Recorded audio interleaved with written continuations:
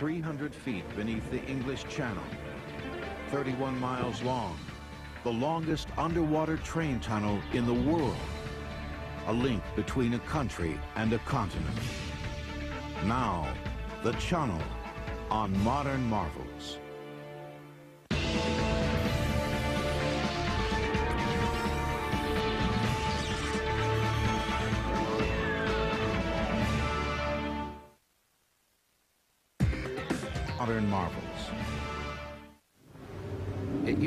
That the only practical way to get from England's famed White Cliffs of Dover across the English Channel to the French coast was by boat.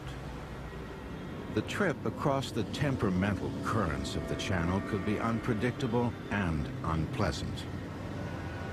Now, crossing the Channel is a 35-minute snap.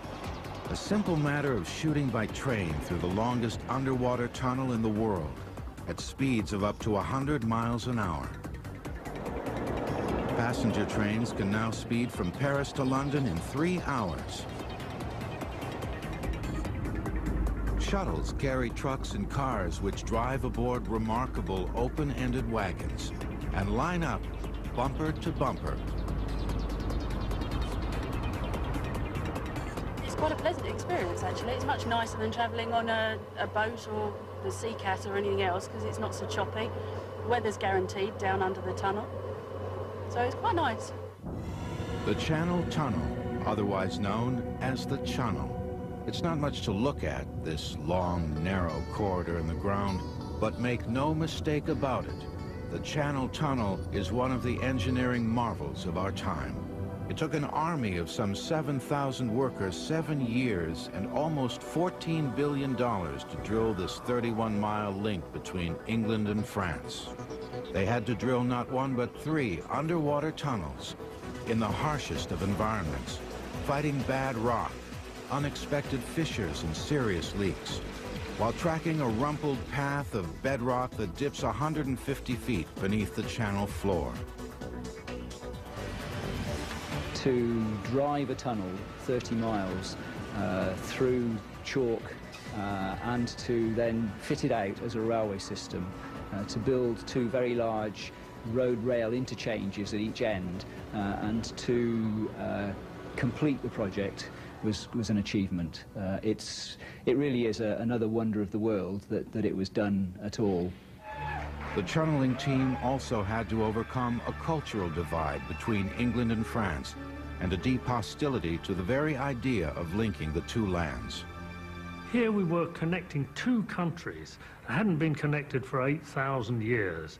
Uh, it was a huge uh, advance in imagination, in technique, uh, and in sheer persistence to get it done. Well, the site workers used to say this is, you know, the biggest thing since the pyramid sort of thing, you know.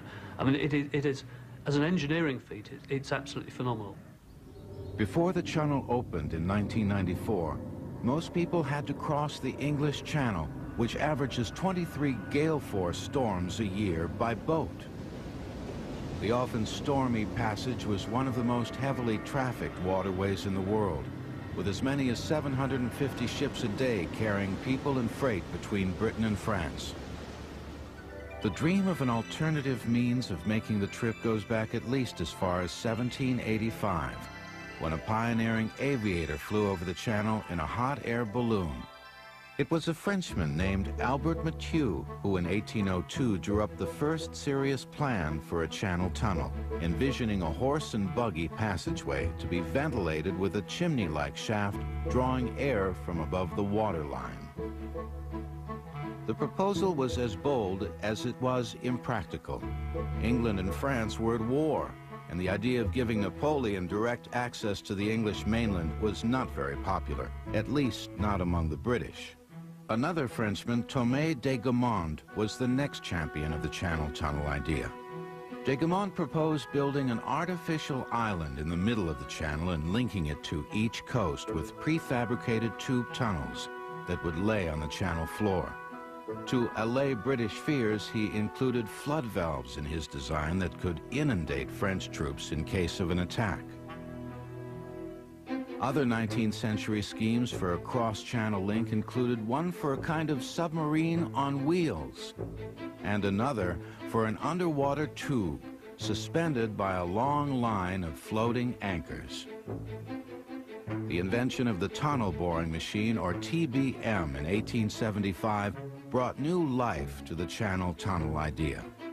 This massive air-powered drill was, in its essentials, identical to the TBMs in use today, with a rotating drill head that could gnaw through the toughest geology at the then phenomenal speed of an inch a minute. In 1881, pioneering TBMs actually began drilling off the coast at Dover and on the French side at Calais. This 1881 tunnel was driven in the same chalk marl that we chose in 1985. The geologists knew that this was the best stratum. What they couldn't be sure of at that time was whether it went all the way across to France. I don't think they actually developed the notion of how you would get this tunnel all the way across. I think government said, prove to us that you can bore a tunnel in this material and that you know where to bore it. Uh, and that they did. And the tunnel is, what, about seven feet in diameter. You can walk down it, and we did walk down it. Uh, and this rotary machine cut a beautiful, smooth, circular bore uh, in, in the chalk. So it demonstrated it could be done. After a year of drilling, each TBM had burrowed more than 5,000 feet. But as the tunnel became more of a reality, English invasion fears returned. And the government pulled the plug on the project because officials said it would fatally weaken Britain's national defense. Support for a channel tunnel persisted in the new century and the British government finally commissioned borings of the channel floor in the 1950s to see if tunneling was geologically sound. As luck would have it, a layer of rock called chalk marl, ideal for tunneling because it was easy to cut, strong and impermeable, ran the breadth of the channel from Dover to Calais. Unfortunately, the chalk marl was sandwiched between unstable layers of rock and clay that could collapse if disturbed and trigger a flood. Worse still, the path of the chalk was narrow and furrowed and would be extremely difficult to follow. Nevertheless, engineers were confident that they could follow the chalk marl, and in 1974, TBMs once again began to chew their way toward each other from either coast. And once again, the British backed out ostensibly because government funding fell through, but also because the idea of connecting England to Europe was still highly controversial. The Brits, I suppose, uh, we're, we're an island race, and for generations we have felt safe uh, from uh, invasion because of this narrow strip of water. Uh, it doesn't make any sense in today's terms, but it stopped the Romans for a long while, and uh, it actually kept Hitler on the right side of the water. I can remember in the days when uh, I was trying to sell this idea to the public in 1985, uh, having old ladies wave umbrellas at me from the front row saying, you rascal, you know, you, we don't want to be connected to the French, there, there's a danger. The idea of a channel tunnel seemed dead in the water, so to speak, until it was revived unexpectedly in the 1980s by the unlikeliest of partners. England's conservative Prime Minister Margaret Thatcher and socialist French President Francois Mitterrand. Neither wanted to risk government funds on the project, but both were willing to allow banks and other investors to foot the bill and take the risk. It's really quite remarkable that, that these two particular leaders should have decided to get the act together and do it. But I think they uh, each saw a wider political advantage to having their name upon this scheme. Uh, they knew that it could be done. A handful of attention-getting designs quickly came to the fore, including one for an outrageously long 21-mile suspension bridge, more than a dozen times the length of the Golden Gate. And this hybrid plan that combined two artificial islands, two tunnels, and two bridges. The winning proposal for a rail-only link called Eurotunnel was reassuringly straightforward. It consisted of three tunnels, two of them 23 feet in diameter for trains coming to and from France, and a smaller service tunnel in the middle for maintenance and emergencies. The tunnels would stretch 31 miles from terminal to terminal, 23 miles of which would be underwater. The most daunting aspect of the proposal was the sheer amount of tunneling involved, 125 miles worth in all.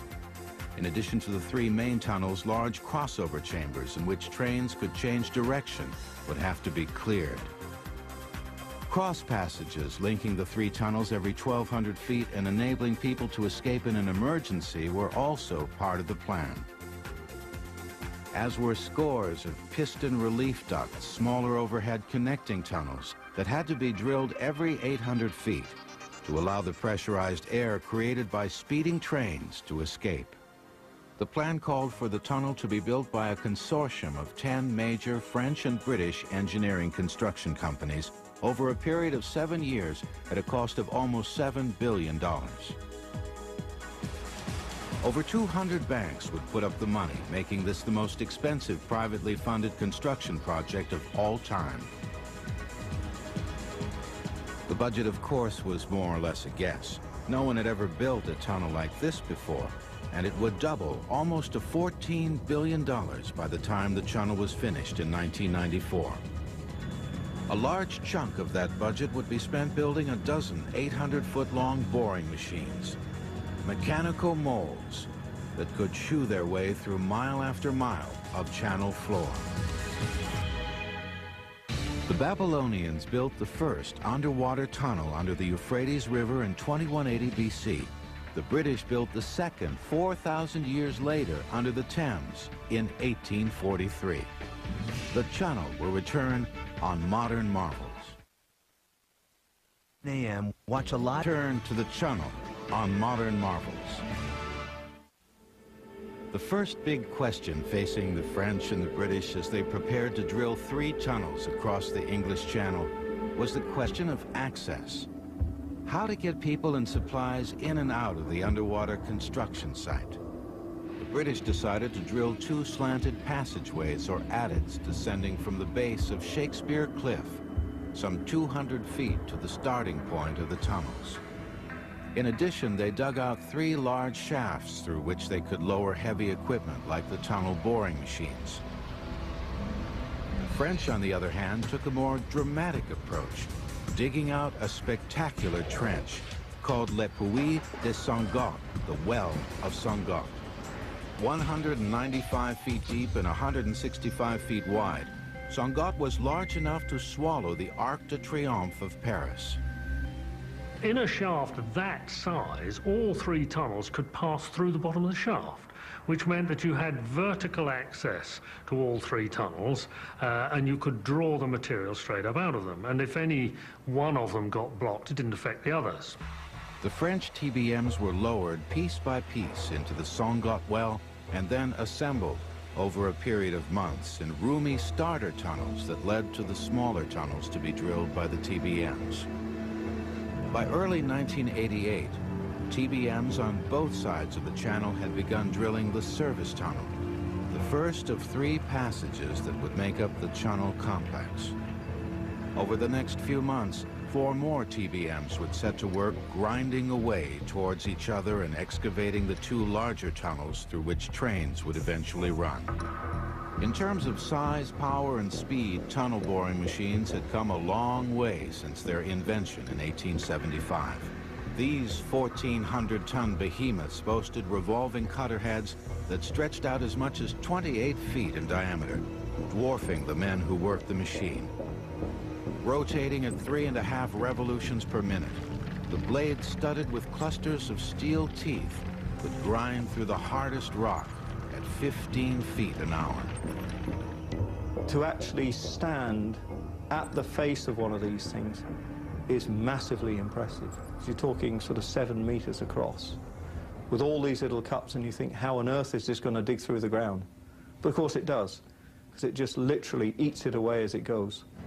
Interestingly, the British and the French did not use the same kind of TBM. The difference was not ideology, but geology.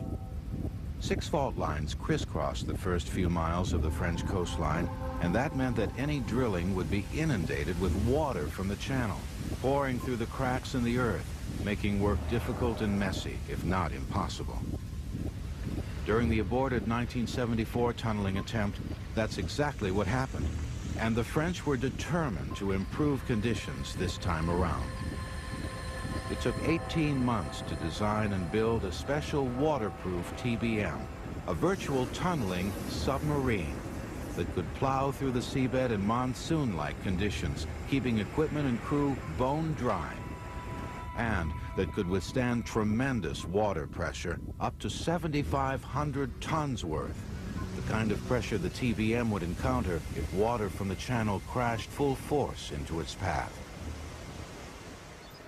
The British, on the other hand, didn't expect a lot of wetness, so they drilled with more conventional open-face machines. It was a decision they would come to second guess, as unanticipated waterfalls made much of their drilling a very messy affair.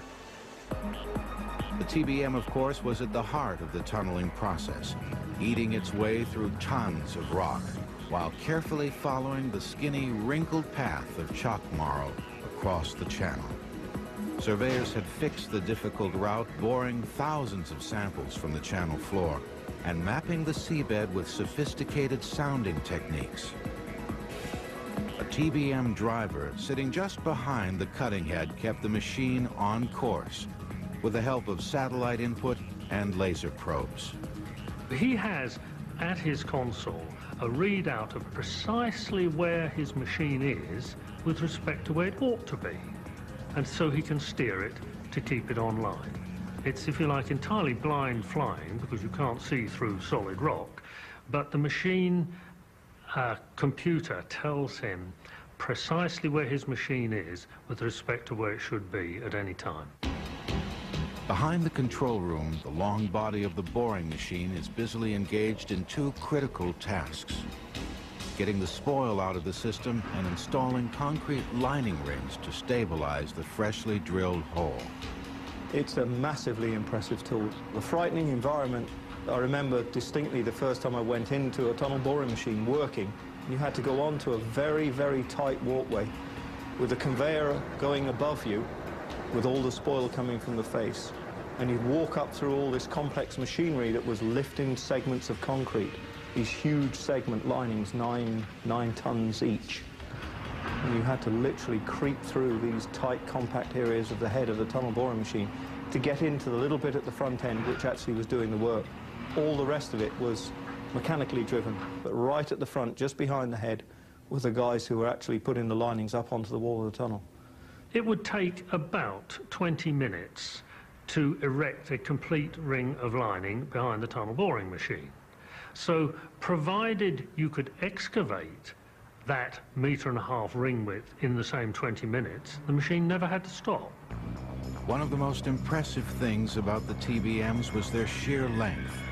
It took minutes to walk to the rear of these 800-foot-long machines, a distance of nearly three football fields.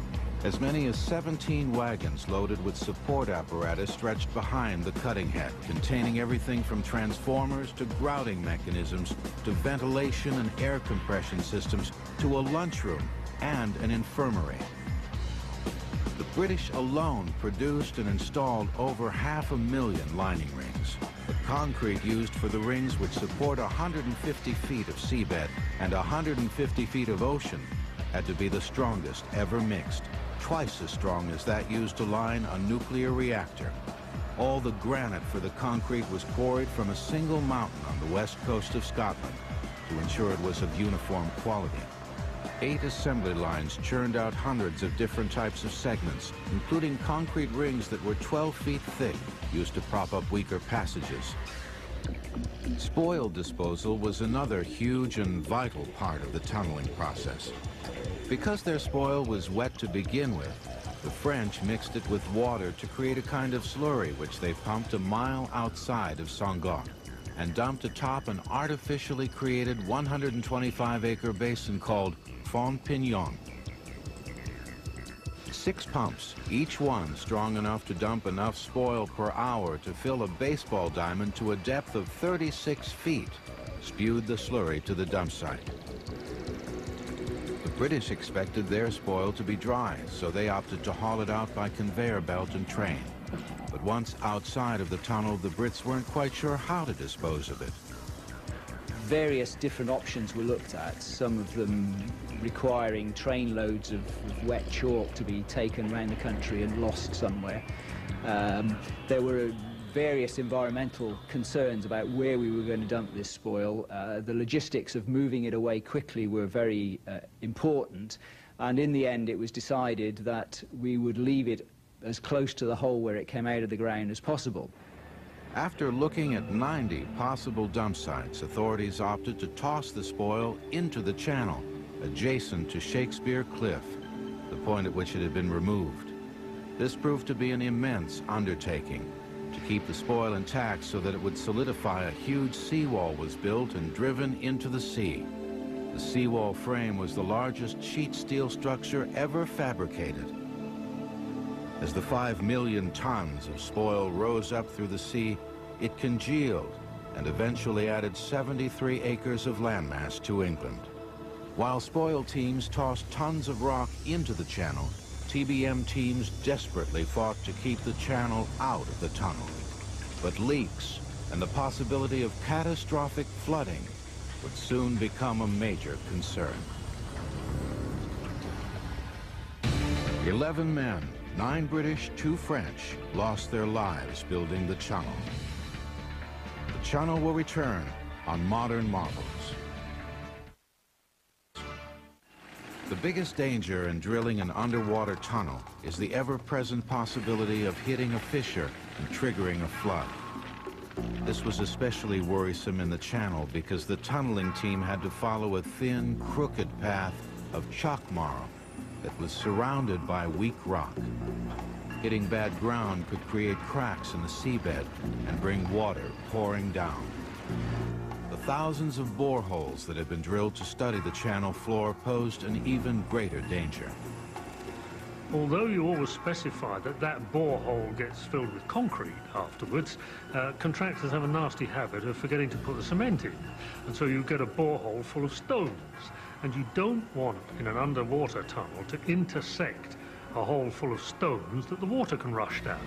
So all we had to do before we started was to try to determine precisely where over 3,000 boreholes over 200 years had been sunk into the bed of the channel so as to avoid them with our boring machine.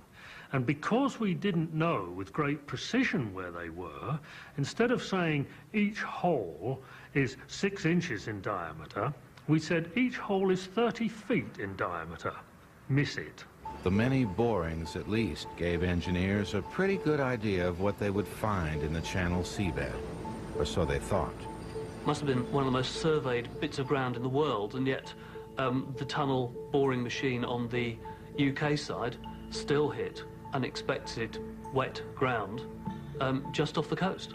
Um, everyone expected it to be them to be going through dry chalk all the way, and they had machines designed for that. And so when they suddenly hit wet ground, they were in a bit of a bit of trouble. A bit of trouble is a bit of an understatement. Water began seeping into the British end of the service tunnel in March 1988 as the TBM gnawed its way forward just off the coast. The TBM was designed for a dry environment, but now, week after week and month after month, water was raining into the construction site. Salt water, indicating that it came directly from the sea. I went into the face at the messiest point, under the UK land drive.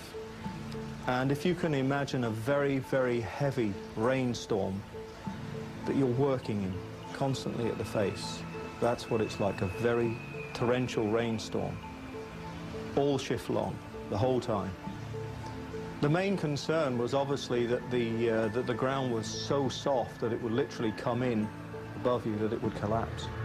And therefore, the engineers had to be absolutely sure that they could proceed safely. So the choice was, do you try and turn offline? Do you carry on and hope the ground would improve? Or do you stop and find some other way of digging through it? And in fact, in the end, they made the decision to carry on slowly and as safely as possible in, in those conditions. But at that time, you were literally moving at a tenth of the speed that you would do normally. So it was very, very, very slow. The leaks, as it turned out, were coming straight from the channel through very fine fissures that earlier tests had not picked up. The good news was the cracks were stable, and while conditions were difficult and unpleasant, they were not life-threatening.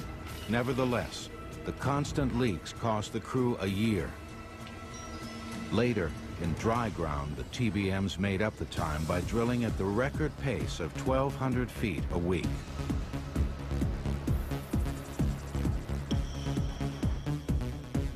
Drilling through the channel bed was the glamorous part of the tunneling process, but supply logistics was a major, if more mundane, challenge.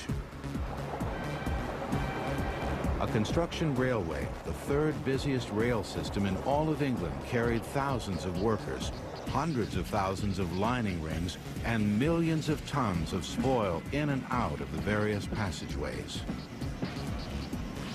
The construction railway at its peak was 1,200 pieces of rolling stock, um, of which something like about 140 locomotives and the rest were supply vehicles. And we were busier than Heathrow Airport in terms of movements. And every single train went in fully loaded and came out bringing out goods and materials that had to be taken to the surface and disposed of. All told, the underground supply trains logged enough miles to go to the moon five times. Incredibly, the tracking system used to monitor the incessant traffic was nothing more than a magnetic board covered with colored magnets. A more high-tech computerized system would not have been as reliable in this wet underworld. It was an unbelievable headache. You had all the different tunnels with all the different segments. Each segment had to be numbered and supplied exactly to the number that was going into the tunnel. You had what we called bullets of concrete which had a lifespan of five or six hours maximum. So they had to go down. If they were delayed, they went solid, and then they had to be dug out of the bullets, literally by hand. Interestingly, because of the congestion and long waits, and in order to keep down emissions in the tunnel, many of the workers rode to their job sites on mountain bikes. A lot of colleagues used to say that it was good fun going in on the bike, especially if you needed to keep fit. Because some of these guys were going up to 27k on a bicycle to the midpoint of the tunnel. The first uh, 9 or 10k is downhill and then it's very gentle from there onwards. It was only coming home was the difficult part. Up the hill, that was a difficult one. Even more difficult, making sure that the two TBMs eating their way towards each other under 31 miles of channel floor would meet in the middle. After two and a half years of non-stop tunneling, the time had come for an underwater breakthrough. A British workforce of 3,587 lived in barracks at the job site, put in 10-hour shifts and earned between $1,000 and $3,500 a week digging out the Channel Tunnel. Chunnel will return on Modern Marvels. A return to the Chunnel on Modern Marvels. One of the biggest questions hanging over the channel tunneling process was whether the tunnel boring machines worming their way towards each other from each coast over a period of years would really meet in the middle of the channel as planned. TBMs could be off target by as much as two feet and still have room to swerve towards each other and hook up. But anything more, a deviation of a yard over a distance of 31 miles, would be ruinous. Tunnelers used lasers and geopositioning satellites to steer the TBMs. They also turned to micropaleontologists who analyzed tiny fossils in the soil to make sure they were on course. Chalk was laid down millions of years ago in a big freshwater lake with thousands and thousands of tiny little shell creatures crushed by the weight of material on the top and forming chalk. So in order to ensure that we knew exactly which piece of chalk we were in, we had micropaleontologists employed who would take away a sample of the clay, put it under the microscope, and recognize these microscopic little shells. And if they didn't see the ones we expected, they would say, you're in the wrong stuff, chaps. You'd better alter the level of your tunnel until you find this correct stratum. So we were constantly drilling ahead of our machine and taking samples.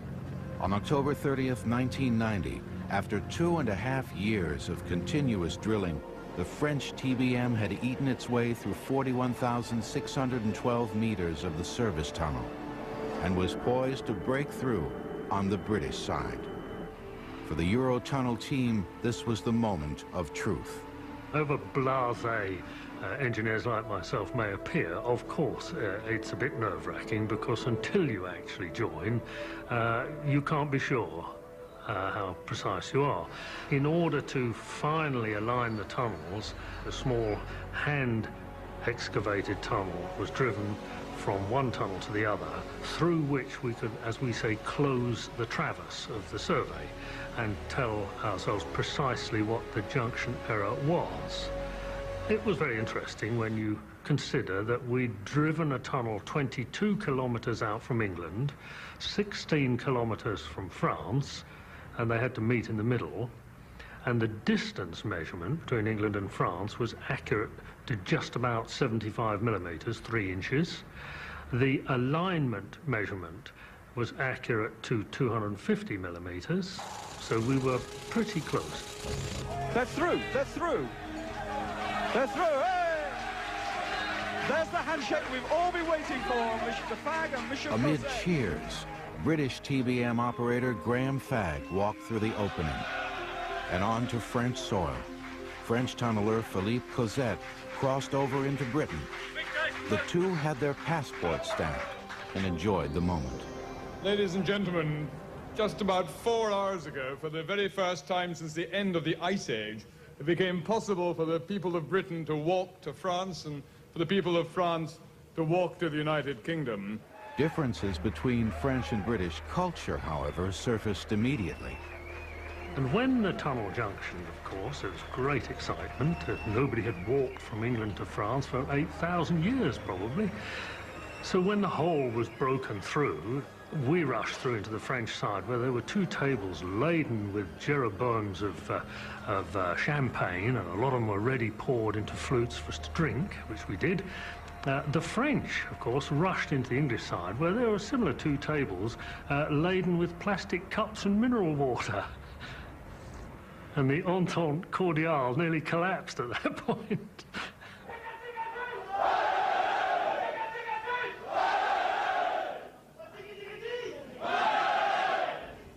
Similar celebrations would quickly follow, marking breakthroughs for the two other tunnels, the larger passageways on either side through which trains would eventually run. By 1991, the first and riskiest phase of the Channel project was complete tunnels under the English Channel were at last a reality. The stage was set for a new excavation challenge, digging out enormous crossover chambers, which had to be big enough to allow kilometer-long trains to cross over and change direction from one tunnel to the next. The crossovers, one on each end of the three central tunnels, were the largest underwater chambers ever attempted. They were excavated first one side, then the other, and then they, they, they ate away at the center section. When you went in there during the construction phase, it was awesome. Watching them bit by bit, piece by piece, section by section, line the walls, put the tracks in, put the floor down, put the doors in, and all of it had to be taken in bit by bit and constructed in situ. It's absolutely fantastic, but they just did it like piecing a giant jigsaw together in this massive cavern. The caverns were too large for the TBM teams to quickly install concrete lining rings as they had done in the tunnels. Instead, they used a temporary support technique called shotcreting, spraying a layer of concrete onto the high ceilings and walls to keep them from crumbling. Shotcrete is a thin skin of sprayed concrete to spray directly onto the rock. It creates if you like, an eggshell uh, structure within the rock, which will stand, as we know, for a considerable period. And that gives us time to advance through and take out all the excavation, and then we can cast inside it a concrete lining at our leisure. The stability of the concrete walls would be severely tested soon after the Chunnel opened in a devastating trial by fire.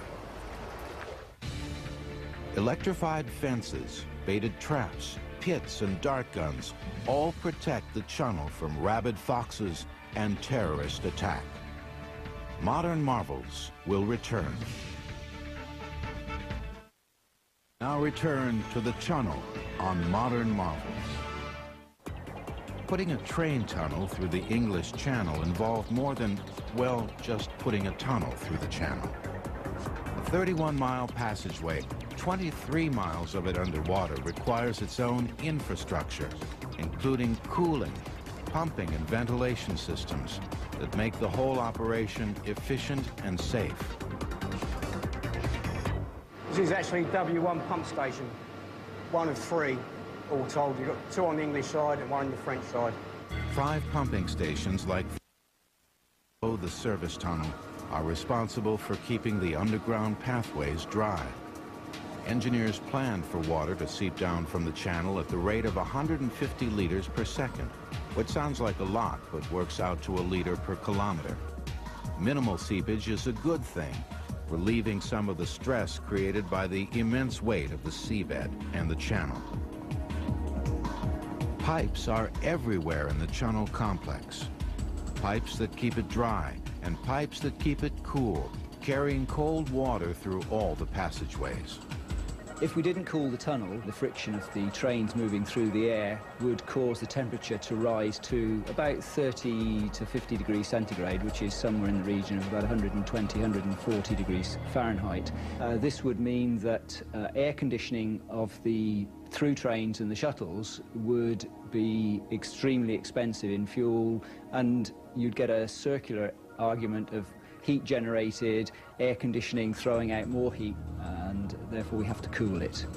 The cold water keeps the temperature in the Chunnel a constant 50 degrees. The water in the pipes is chilled here at a cooling plant at the foot of Shakespeare Cliff, next to the original entry point to the tunnel worksite. When it's cold outside, a series of radiator-like fans are enough to keep the pipes cool. In warm weather, enormous chillers are used, four of them, each one loaded with five tons of refrigerant, the equivalent of 5,000 home freezers. The chillers are among the most powerful in Europe.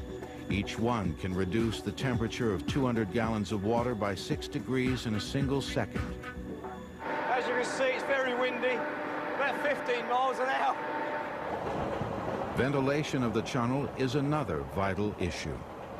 There has to be a way of getting fresh air into the passageways and of controlling smoke or toxic fumes in case of emergency. Huge ventilators housing gigantic fans, each one equipped with 34 blades, do just that, blowing a constant draft, 161 cubic meters of fresh air per second through shafts like this one in the service tunnel, which distributes the air to the other passageways. Much of the air stays in the service tunnel, which is pressurized to provide a safe haven during a fire.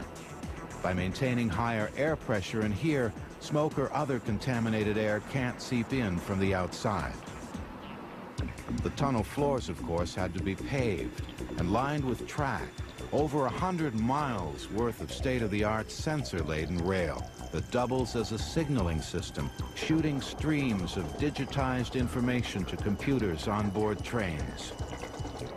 Catenary lines were installed to deliver power to the trains. In normal use, the Chunnel needs 160 megawatts of electricity, the same amount used by a city of 250,000.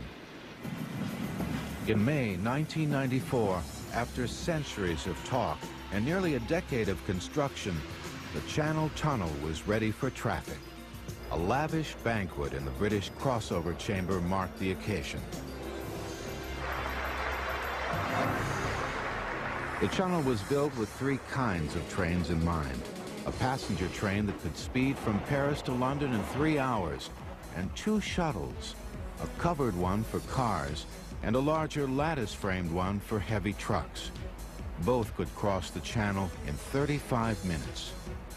The shuttles were specially designed for the Chunnel to make it easy for vehicles to get on, go through, and get off the trains. The wagons carrying trucks are the largest train cars ever built and boast the best speed to weight ratio of all time. These trains were of a completely new type because of the need to have a very quick transit through the channel and that led us to have trains running up to 160 kph and weighing up to 2,500 tons. Generally speaking, in the railway world, you have fast trains, which are light, or heavy trains, which are slow. And we have both here. That was the new fact. Critics had warned that a Channel train could become the world's longest crematorium, and fire was a major consideration in their design. The wagons are made from special alloys that can burn for 35 minutes, the length of a trip through the channel, without warping. Unfortunately, the various fire detection and alarm systems were put to the test less than three years after the Chunnel opened. On November 18, 1996, a truck shuttle caught fire as it entered the Chunnel at Calais. Authorities believe that a torch was tossed onto the train, starting the blaze. The flames quickly spread to a truck loaded with 20 tons of animal fat. The resulting inferno reached a temperature of 1,300 degrees and had passengers gasping on the train car floor. The shuttle tried to race through to the British side so that firemen could work in the open air, but wind generated by the speeding train spread the fire from wagon to wagon until 14 of the 28 cars were ablaze. Finally, the Euro shuttle came to a stop about 10 miles out of Calais. By the time it was halted in the middle of the tunnel, uh, most of the train was a raging inferno. And uh, all the wagons were melted down, just like huge dollops of metal and, and they did have to be prized away from the line. The line was totally destroyed. And it was very, very lucky that nobody was killed. That's because they managed to get out of the train and into the service tunnel and, and away from the danger. The fire then began to eat into the, into the main superstructure of the tunnel itself. Given another hour or two, if that fire hadn't been brought under control, maybe there would have been a collapse, which would have brought the whole thing down. As a result of the near catastrophe, Eurotunnel has made key changes in its firefighting strategy. Instead of ramming through to daylight in a literal blaze, the plan now is to stop in the tunnel, let passengers escape to safety, and fight the fire with hoses and suppressants on board the train. The fire has certainly not deterred people from using the Chunnel. 31 million people a year, a thousand cars an hour, now cross the English Channel from below. Many of them make day trips from England to France to shop. You can even buy Irish Guinness in France cheaper than you can buy it in England. That's the advantage. You can buy wine. Pounds a bottle. People will go from the UK across to France uh, for a night out and then come back. I mean, that is just extraordinary. It wouldn't have happened, you know, it couldn't have happened 20 years ago. Channel traffic is expected to double by 2010, and Eurotunnel has already submitted plans for a second channel tunnel, possibly for cars as well as trains to be built in 2020. This despite the fact that it'll still be years, perhaps decades, before Eurotunnel investors see any profit on their historic venture. All earnings so far have gone to pay off the immense debt incurred in funding the $14 billion project. But numbers don't really tell the story of the Channel Tunnel. A story not so much of profit and loss as of incredible engineering and the irrepressible human desire stretch across distances, overcome natural and cultural boundaries, extend the limits of technology, and find a cheaper bottle of wine. Squids use ink to cloud the water and escape. We use it to draft our freedom. Some even use it for some freaky looking tattoos. It's one of the most useful inventions of all time. 3,000 years in the making. Don't miss Ink on Modern Marvels. Tonight at 10 on the History Channel. Bolivia. And uh, it actually kept Hitler on the right side of the water. I can remember in the days when uh, I was trying to sell this idea to the public in 1985, uh, having old ladies wave umbrellas at me from the front row saying, you rascal, you know, you, we don't want to be connected to the French, there, there's a danger. The idea of a channel tunnel seemed dead in the water, so to speak, until it was revived unexpectedly in the 1980s by the unlikeliest of partners. England's conservative Prime Minister Margaret Thatcher and socialist French President Francois Mitterrand. Neither wanted to risk government funds on the project, but both were willing to allow banks and other investors to foot the bill and take the risk. It's really quite remarkable that, that these two particular leaders should have decided to get the act together and do it. But I think they uh, each saw a wider political advantage to having their name upon this scheme. Uh, they knew that it could be done. A handful of attention-getting designs quickly came to the fore, including one for an outrageously long 21-mile suspension bridge, more than a dozen times the length of the Golden Gate. And this hybrid plan that combined two artificial islands, two tunnels, and two bridges. The winning proposal for a rail-only link called Eurotunnel was reassuringly straightforward. It consisted of three tunnels, two of them 23 feet in diameter for trains coming to and from France, and a smaller service tunnel in the middle for maintenance and emergencies. The tunnels would stretch 31 miles from terminal to terminal, 23 miles of which would be underwater. The most daunting aspect of the proposal was the sheer amount of tunneling involved, 125 miles worth in all in addition to the three main way to be ventilated with a chimney-like shaft drawing air from above the water line. The proposal was as bold as it was impractical. England and France were at war, and the idea of giving Napoleon direct access to the English mainland was not very popular, at least not among the British. Another Frenchman, Thomas de Gamond, was the next champion of the Channel Tunnel idea. De Gamond proposed building an artificial island in the middle of the channel and linking it to each coast with prefabricated tube tunnels that would lay on the channel floor. To allay British fears, he included flood valves in his design that could inundate French troops in case of an attack.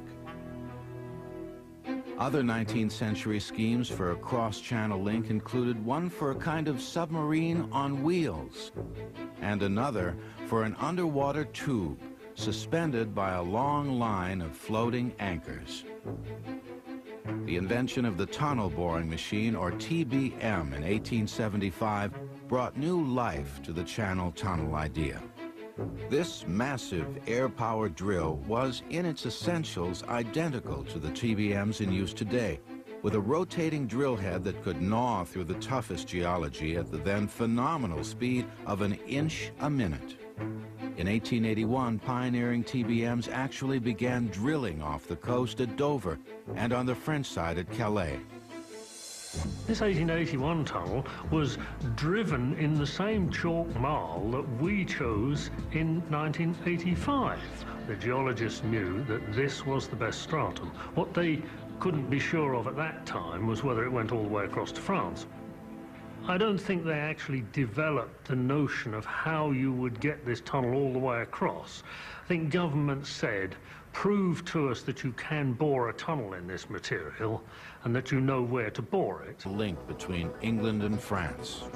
They had to drill not one but three underwater tunnels in the harshest of environments, fighting bad rock, unexpected fissures and serious leaks, while tracking a rumpled path of bedrock that dips 150 feet beneath the channel floor.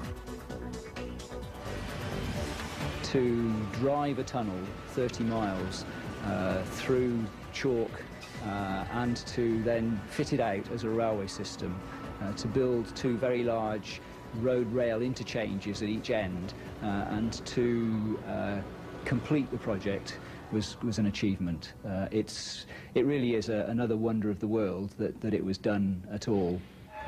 The channeling team also had to overcome a cultural divide between England and France and a deep hostility to the very idea of linking the two lands. Here we were connecting two countries that hadn't been connected for 8,000 years. Uh, it was a huge uh, advance in imagination, in technique, uh, and in sheer persistence to get it done. The site workers used to say this is, you know, the biggest thing since the pyramid sort of thing, you know. I mean, it, it is, as an engineering feat, it, it's absolutely phenomenal. Before the Chunnel opened in 1994, most people had to cross the English Channel, which averages 23 gale force storms a year by boat. The often stormy passage was one of the most heavily trafficked waterways in the world, with as many as 750 ships a day carrying people and freight between Britain and France. The dream of an alternative means of making the trip goes back at least as far as 1785 when a pioneering aviator flew over the channel in a hot air balloon. It was a Frenchman named Albert Mathieu who in 1802 drew up the first serious plan for a channel tunnel, envisioning a horse and buggy passage. Uh, and that they did. And the tunnel is, what, about seven feet in diameter. You can walk down it, and we did walk down it. Uh, and this rotary machine cut a beautiful, smooth, circular bore uh, in, in the chalk. So it demonstrated it could be done. After a year of drilling, each TBM had burrowed more than 5,000 feet. But as the tunnel became more of a reality, English invasion fears returned. And the government pulled the plug on the project because officials said it would fatally weaken Britain's national defense. Support for a channel tunnel persisted in the new century and the British government finally commissioned borings of the channel floor in the 1950s to see if tunneling was geologically sound. As luck would have it, a layer of rock called chalk marl, ideal for tunneling because it was easy to cut, strong and impermeable, ran the breadth of the channel from Dover to Calais.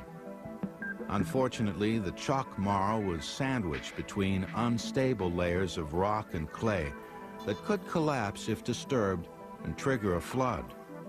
Worse still, the path of the chalk was narrow and furrowed and would be extremely difficult to follow. Nevertheless, engineers were confident that they could follow the chalk marl, and in 1974, TBMs once again began to chew their way toward each other from either coast. And once again, the British backed out ostensibly because government funding fell through, but also because the idea of connecting England to Europe was still highly controversial.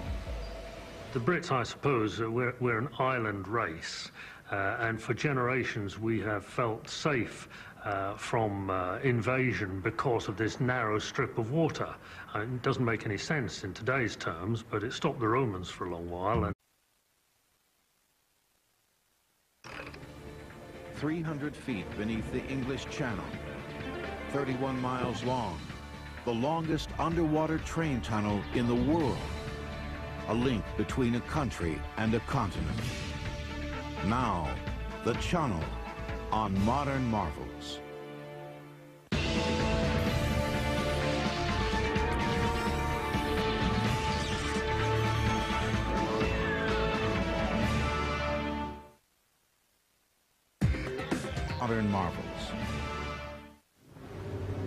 To be that the only practical way to get from England's famed White Cliffs of Dover across the English Channel to the French coast was by boat. The trip across the temperamental currents of the channel could be unpredictable and unpleasant. Now, crossing the channel is a 35-minute snap, a simple matter of shooting by train through the longest underwater tunnel in the world at speeds of up to 100 miles an hour. Passenger trains can now speed from Paris to London in three hours. Shuttles carry trucks and cars which drive aboard remarkable open-ended wagons and line up bumper to bumper. It's quite a pleasant experience, actually. It's much nicer than travelling on a, a boat or the Sea Cat or anything else because it's not so choppy. Weather's guaranteed down under the tunnel. So it's quite nice. The Channel Tunnel, otherwise known as the Chunnel. It's not much to look at, this long, narrow corridor in the ground, but make no mistake about it. The Channel Tunnel is one of the engineering marvels of our time. It took an army of some 7,000 workers seven years and almost $14 billion to drill this 30... 16 kilometres from France, and they had to meet in the middle. And the distance measurement between England and France was accurate to just about 75 millimetres, three inches. The alignment measurement was accurate to 250 millimetres, so we were pretty close. They're through, they're through. They're through, hey! There's the handshake we've all been waiting for, Mr. Fagg and Mr. Amid cheers, British TBM operator Graham Fagg walked through the opening and on to French soil. French tunneler Philippe Cozette crossed over into Britain. The two had their passports stamped and enjoyed the moment. Ladies and gentlemen, just about four hours ago, for the very first time since the end of the Ice Age, it became possible for the people of Britain to walk to France and for the people of France to walk to the United Kingdom. Differences between French and British culture, however, surfaced immediately. And when the tunnel junction, of course, there was great excitement. Nobody had walked from England to France for 8,000 years, probably. So when the hole was broken through, we rushed through into the French side where there were two tables laden with Jeroboams of, uh, of uh, champagne, and a lot of them were ready poured into flutes for us to drink, which we did. Uh, the French, of course, rushed into the English side where there were similar two tables uh, laden with plastic cups and mineral water. And the Entente Cordiale nearly collapsed at that point.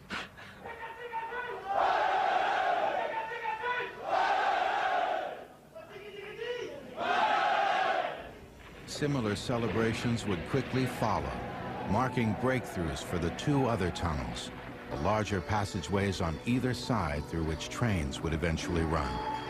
By 1991, the first and riskiest phase of the Channel project was complete. Tunnels under the English Channel were at last a reality. The stage was set for a new excavation challenge, digging out enormous crossover chambers which had to be big enough to allow kilometer-long trains to cross over and change direction from one tunnel to the next. The crossovers, one on each end of the three central tunnels, were the largest underwater chambers ever attempted. They were excavated first one side, then the other, and then they, they, they ate away at the center section. When you went in there during the construction phase, it was awesome watching them bit by bit, piece by piece, section by section, line the walls, put the tracks in, put the floor down, put the doors in, and all of it had to be taken in bit by bit and constructed in situ. It's absolutely fantastic, but they just... Ever mixed, twice as strong as that used to line a nuclear reactor. All the granite for the concrete was quarried from a single mountain on the west coast of Scotland to ensure it was of uniform quality. Eight assembly lines churned out hundreds of different types of segments, including concrete rings that were 12 feet thick, used to prop up weaker passages. Spoil disposal was another huge and vital part of the tunneling process. Because their spoil was wet to begin with, the French mixed it with water to create a kind of slurry which they pumped a mile outside of Sangatte and dumped atop an artificially created 125-acre basin called Fond Pignon.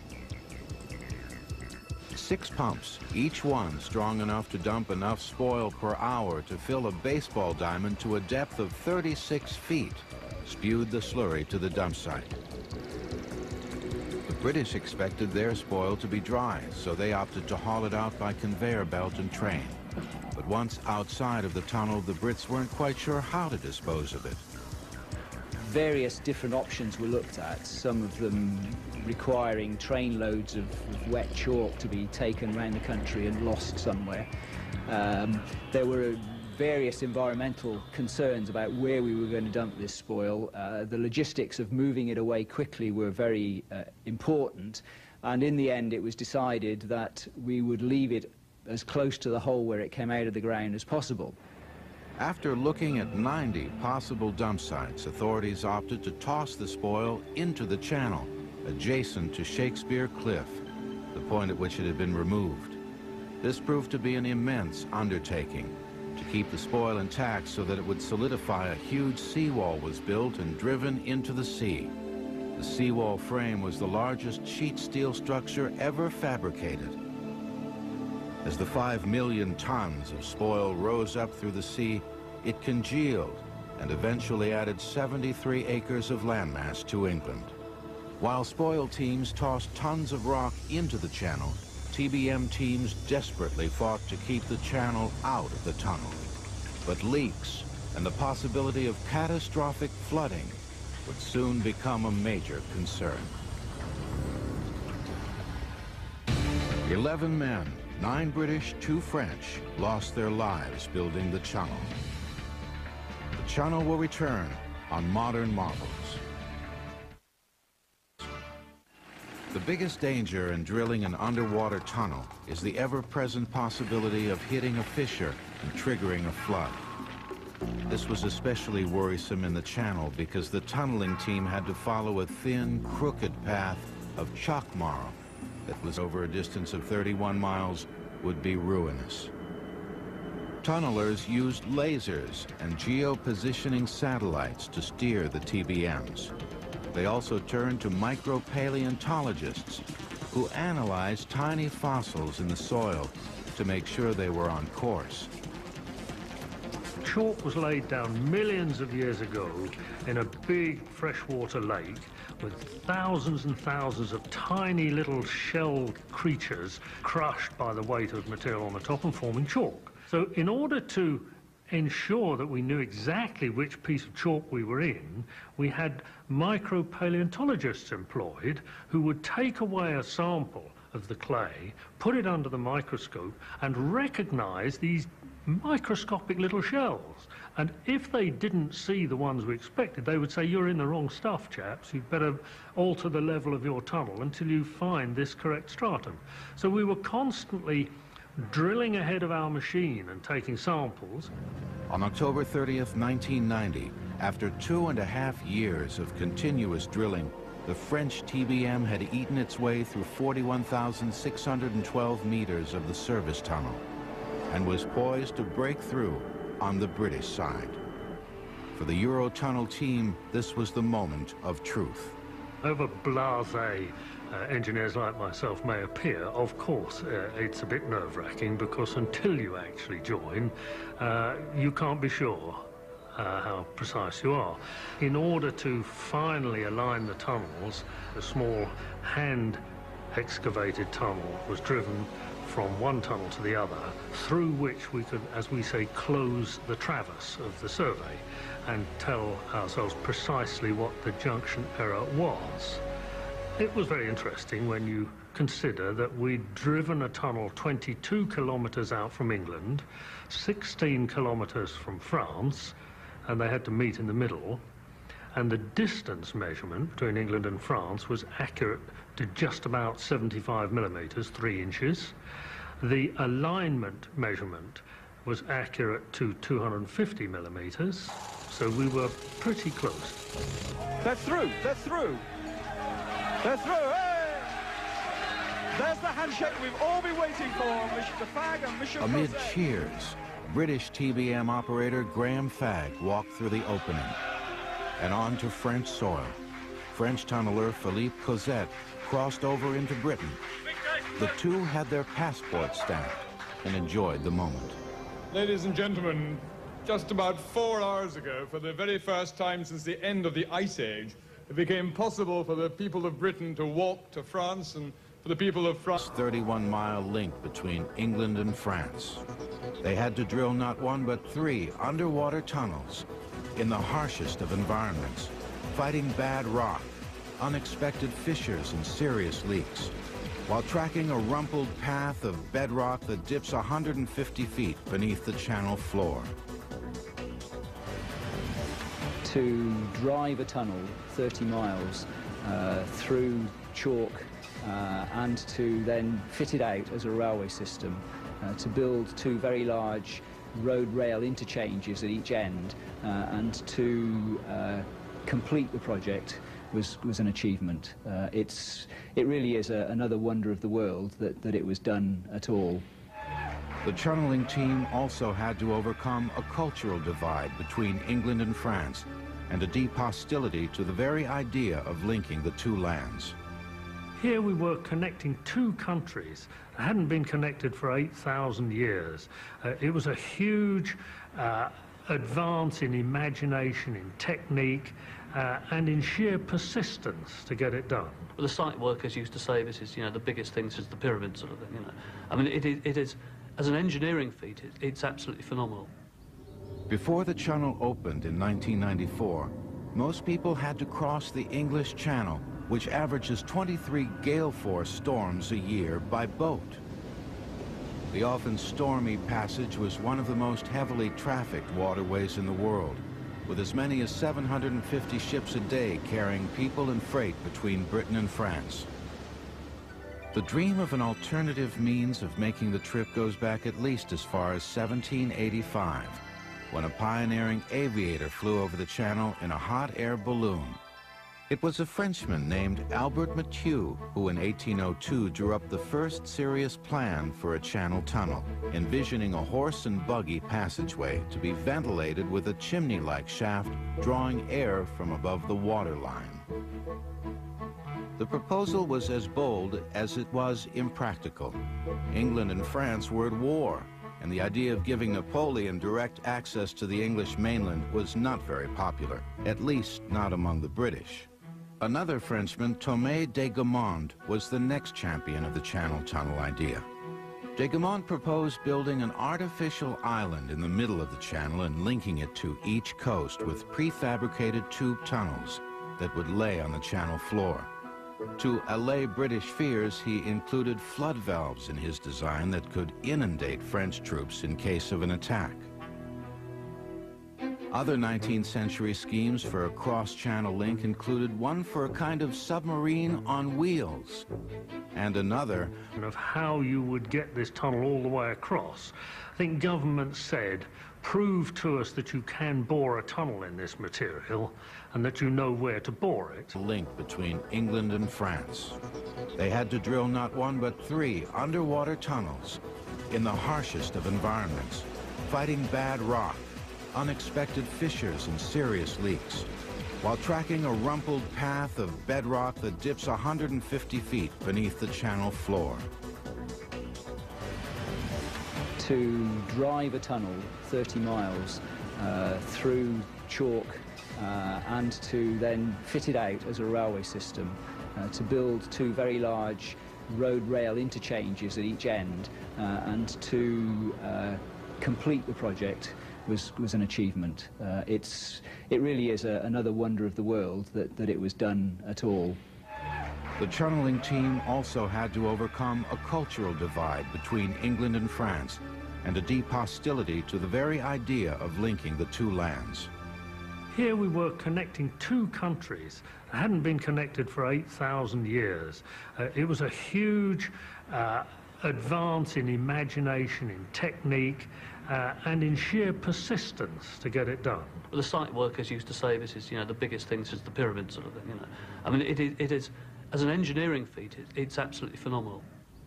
Before the Chunnel opened in 1994, most people had to cross the English Channel, which averages 23 gale force storms a year by boat. The often stormy passage was one of the most heavily trafficked waterways in the world with as many as 750 ships a day carrying people and freight between Britain and France. The dream of an alternative means of making the trip goes back at least as far as 1785, when a pioneering aviator flew over the channel in a hot air balloon. It was a Frenchman named Albert Mathieu who in 1802 drew up the first serious plan for a channel tunnel, envisioning a horse and buggy passage. Uh, and that they did. And the tunnel is, what, about seven feet in diameter. You can walk down it, and we did walk down it. Uh, and this rotary machine cut a beautiful, smooth, circular bore uh, in, in the chalk. So it demonstrated it could be done. After a year of drilling, each TBM had burrowed more than 5,000 feet. But as the tunnel became more of a reality, English invasion fears returned. And the government pulled the plug on the project because officials said it would fatally weaken Britain's national defense. Support for a channel tunnel persisted in the new century, and the British government finally commissioned quickly followed marking breakthroughs for the two other tunnels, the larger passageways on either side through which trains would eventually run. By 1991, the first and riskiest phase of the Channel project was complete. Tunnels under the English Channel were at last a reality. The stage was set for a new excavation challenge, digging out enormous crossover chambers which had to be big enough to allow kilometer-long trains to cross over and change direction from one tunnel to the next. The crossovers, one on each end of the three central tunnels, were the largest underwater chambers ever attempted. They were excavated first one side, then the other, and then they, they, they ate away at the center section. When you went in there during the construction phase, it was awesome watching them bit by bit, piece by piece, section by section, line the walls, put the tracks in, put the floor down, put the doors in, and all of it had to be taken in bit by bit and constructed in situ. It's absolutely fantastic, but they just did it like piecing a giant jigsaw together in this massive cavern. The caverns were too large for the TBM teams to quickly install concrete lining rings as they had done in the tunnels. Instead, they used a temporary support technique called shotcreting, spraying a layer of concrete onto the high ceilings and walls to keep them from crumbling. Shotcrete is a thin skin of sprayed concrete to spray directly onto the rock. It creates, if you like, an eggshell uh, structure within the rock, which will stand, as we know, for a considerable period. And that gives us time to advance through and take out all the excavation, and then we can cast inside it a concrete lining at our leisure. The stability of the concrete walls would be severely tested soon after the channel opened in a devastating trial by fire. Electrified fences, baited traps, pits, and dart guns all protect the channel from rabid foxes and terrorist attack. Modern Marvels will return. Now return to the Chunnel on Modern Marvels. Putting a train tunnel through the English Channel involved more than, well, just putting a tunnel through the channel. A 31-mile passageway, 23 miles of it underwater, requires its own infrastructure, including cooling, pumping and ventilation systems that make the whole operation efficient and safe. This is actually W1 pump station, one of three. To keep the spoil intact so that it would solidify, a huge seawall was built and driven into the sea. The seawall frame was the largest sheet steel structure ever fabricated. As the five million tons of spoil rose up through the sea, it congealed and eventually added 73 acres of landmass to England. While spoil teams tossed tons of rock into the channel, TBM teams desperately fought to keep the channel out of the tunnel. But leaks and the possibility of catastrophic flooding would soon become a major concern. Eleven men, nine British, two French, lost their lives building the Chunnel. Chunnel will return on Modern Marvels. The biggest danger in drilling an underwater tunnel is the ever-present possibility of hitting a fissure and triggering a flood.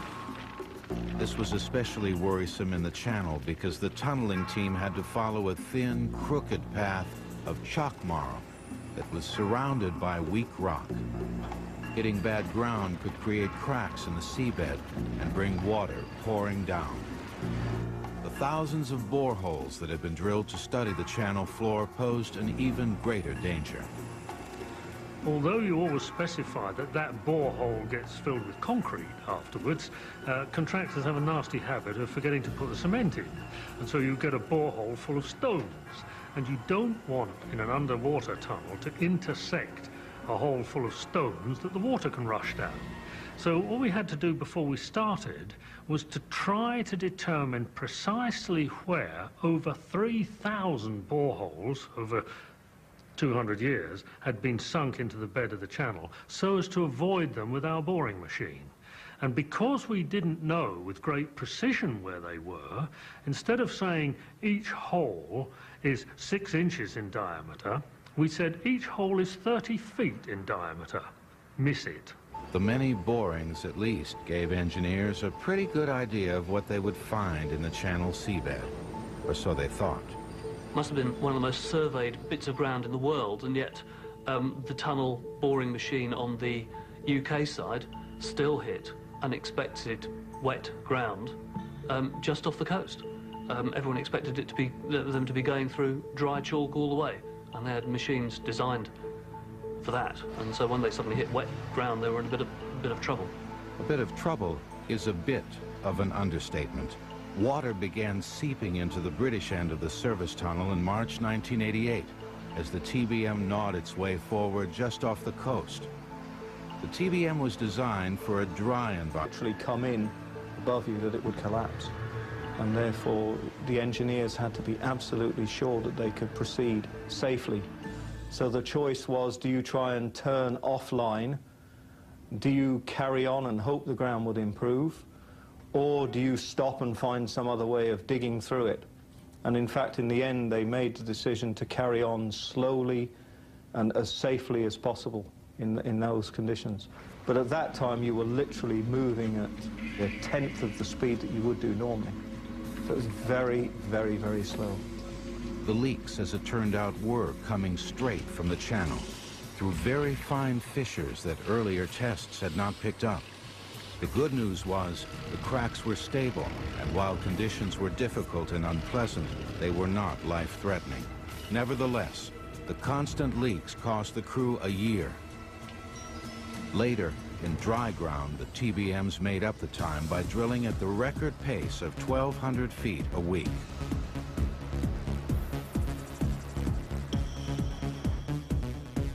Drilling through the channel bed was the glamorous part of the tunneling process, but supply logistics was a major, if more mundane, challenge. A construction railway, the third busiest rail system in all of England, carried thousands of workers, hundreds of thousands of lining rings, and millions of tons of spoil in and out of the various passageways. The construction railway at its peak was 1,200 pieces of rolling stock, um, of which something like about 140 locomotives and the rest were supply vehicles. And we were busier than Heathrow Airport in terms of movements. And every single train went in fully loaded and came out bringing out goods and materials that had to be taken to the surface and disposed of. All told, the underground supply trains logged enough miles to go to the moon five times. Incredibly, the tracking system used to monitor the incessant traffic was nothing more than a magnetic board covered with colored magnets. A more high-tech computerized system would not have been as reliable in this wet underworld. Was an unbelievable headache. You had all the different tunnels with all the different segments. Each segment had to be numbered and supplied exactly to the number that was going into the tunnel. You had what we called bullets of concrete, which had a lifespan of five or six hours maximum. So they had to go down. If they were delayed, they went solid, and then they had to be dug out of the bullets, literally by hand. Interestingly, because of the congestion and long waits, and in order to keep down emissions in the tunnel, many of the workers demonstrated it could be done. After a year of drilling, each TBM had burrowed more than 5,000 feet. But as the tunnel became more of a reality, English invasion fears returned. And the government pulled the plug on the project because officials said it would fatally weaken Britain's national defense. Support for a channel tunnel persisted in the new century, and the British government finally commissioned borings of the channel floor in the 1950s to see if tunneling was geologically sound. As luck would have it, a layer of rock called chalk marl, ideal for tunneling because it was easy to cut, strong and impermeable, ran the breadth of the channel from Dover to Calais. Unfortunately, the chalk marl was sandwiched between unstable layers of rock and clay that could collapse if disturbed and trigger a flood. Worse still, the path of the chalk was narrow and furrowed and would be extremely difficult to follow. Nevertheless, engineers were confident that they could follow the chalk marl, and in 1974, TBMs once again began to chew their way toward each other from either coast. And once again, the British backed out, ostensibly because government funding fell through, but also because the idea of connecting England to Europe was still highly controversial. The Brits, I suppose, uh, we're, we're an island race, uh, and for generations we have felt safe uh, from uh, invasion because of this narrow strip of water. Uh, it doesn't make any sense in today's terms, but it stopped the Romans for a long while. 300 feet beneath the English Channel, 31 miles long, the longest underwater train tunnel in the world, a link between a country and a continent. Now, the Chunnel on Modern Marvels.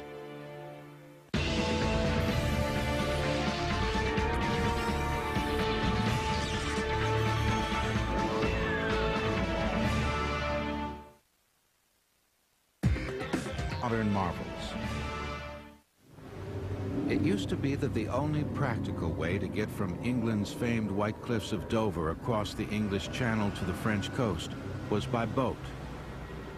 The trip across the temperamental currents of the channel could be unpredictable and unpleasant. Now, crossing the channel is a 35-minute snap, a simple matter of shooting by train through the longest underwater tunnel in the world at speeds of up to 100 miles an hour. Passenger trains can now speed from Paris to London. And you'd get a circular argument of heat generated, air conditioning throwing out more heat, and therefore we have to cool it. The cold water keeps the temperature in the channel a constant 50 degrees. The water in the pipes is chilled here at a cooling plant at the foot of Shakespeare Cliff, next to the original entry point to the tunnel worksite. When it's cold outside, a series of radiator-like fans are enough to keep the pipes cool. In warm weather, enormous chillers are used, four of them, each one loaded with five tons of refrigerant, the equivalent of 5,000 home freezers. The chillers are among the most powerful in Europe. Each one can reduce the temperature of 200 gallons of water by six degrees in a single second. 15 miles an hour. Ventilation of the channel is another vital issue. There has to be a way of getting fresh air into the passageways and of controlling smoke or toxic fumes in case of emergency. Huge ventilators housing gigantic fans, each one equipped with 34 blades, do just that, blowing a constant draft, 161 cubic meters of fresh air per second through shafts like this one in the service tunnel, which distributes the air to the other passageways. Much of the air stays in the service tunnel, which is pressurized to provide a safe haven during a fire. By maintaining higher air pressure in here, smoke or other contaminated air can't seep in from the outside. The tunnel floors, of course, had to be paved and lined with track, over a hundred miles worth of state-of-the-art sensor-laden rail that doubles as a signaling system, shooting streams of digitized information to computers on board trains. Catenary lines were installed to deliver power to the trains. In normal use, the channel needs 160 megawatts of electricity, the same amount used by a city of 250,000. In May 1994, after centuries of talk and nearly a decade of construction, the Channel Tunnel was ready for traffic. A lavish banquet in the British crossover chamber marked the occasion. The tunnel was built with three kinds of trains in mind. A passenger train that could speed from Paris to London in three hours, and two shuttles, a covered one for cars and a larger lattice-framed one for heavy trucks. Both could cross the channel in 35 minutes. The shuttles were specially designed for the channel to make it easy for vehicles to get on, go through, is one of the engineering marvels of our time.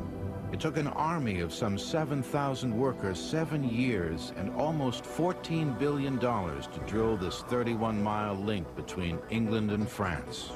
They had to drill not one but three underwater tunnels in the harshest of environments, fighting bad rock, unexpected fissures and serious leaks, while tracking a rumpled path of bedrock that dips 150 feet beneath the channel floor. To drive a tunnel 30 miles uh, through chalk uh, and to then fit it out as a railway system uh, to build two very large road rail interchanges at each end uh, and to uh, complete the project was, was an achievement. Uh, it's, it really is a, another wonder of the world that, that it was done at all. The channeling team also had to overcome a cultural divide between England and France and a deep hostility to the very idea of linking the two lands. Here we were connecting two countries that hadn't been connected for 8,000 years. Uh, it was a huge uh, advance in imagination, in technique, uh, and in sheer persistence to get it done. Well, the site workers used to say this is, you know, the biggest thing since the pyramid sort of thing, you know. I mean, it, it, it is, as an engineering feat, it, it's absolutely phenomenal. Before the Chunnel opened in 1994, most people had to cross the English Channel which averages 23 gale force storms a year by boat. The often stormy passage was one of the most heavily trafficked waterways in the world, with as many as 750 ships a day carrying people and freight between Britain and France. The dream of an alternative means of making the trip goes back at least as far as 1785, when a pioneering aviator flew over the channel in a hot air balloon it was a Frenchman named Albert Mathieu who in 1802 drew up the first serious plan for a channel tunnel, envisioning a horse and buggy passageway to be ventilated with a chimney-like shaft drawing air from above the waterline. The proposal was as bold as it was impractical. England and France were at war, and the idea of giving Napoleon direct access to the English mainland was not very popular, at least not among the British. Another Frenchman, Thomas de Gamond, was the next champion of the Channel Tunnel idea. De Gamond proposed building an artificial island in the middle of the channel and linking it to each coast with prefabricated tube tunnels that would lay on the channel floor. To allay British fears, he included flood valves in his design that could inundate French troops in case of an attack. Circular bore uh, in, in the chalk. So it demonstrated it could be done. After a year of drilling, each TBM had burrowed more than 5,000 feet. But as the tunnel became more of a reality, English invasion fears returned. And the government pulled the plug on the project because officials said it would fatally weaken Britain's national defense. Support for a channel tunnel persisted in the new century and the British government finally commissioned borings of the channel floor in the 1950s to see if tunneling was geologically sound. As luck would have it, a layer of rock called chalk marl, ideal for tunneling because it was easy to cut, strong and impermeable, ran the breadth of the channel from Dover to Calais. Unfortunately, the chalk marl was sandwiched between unstable layers of rock and clay that could collapse if disturbed and trigger a flood. Worse still, the path of the chalk was narrow and furrowed and would be extremely difficult to follow. Nevertheless, engineers were confident that they could follow the chalk marl, and in 1974, TBMs once again began to chew their way toward each other from either coast.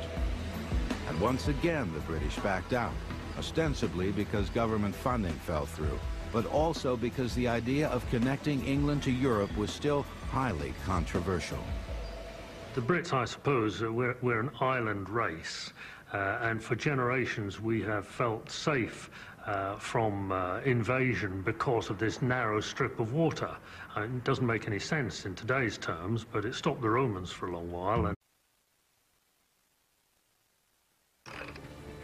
300 feet beneath the English Channel, 31 miles long, the longest underwater train tunnel in the world, a link between a country and a continent. Now, the Chunnel on Modern Marvels.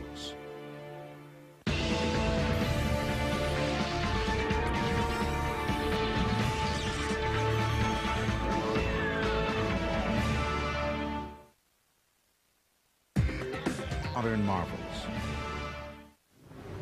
It used to be that the only practical way to get from England's famed White Cliffs of Dover across the English Channel to the French coast was by boat. The trip across the temperamental currents of the Channel could be unpredictable and unpleasant. Now, crossing the Channel is a 35-minute snap, a simple matter of shooting by train through the longest underwater tunnel in the world at speeds of up to 100 miles an hour.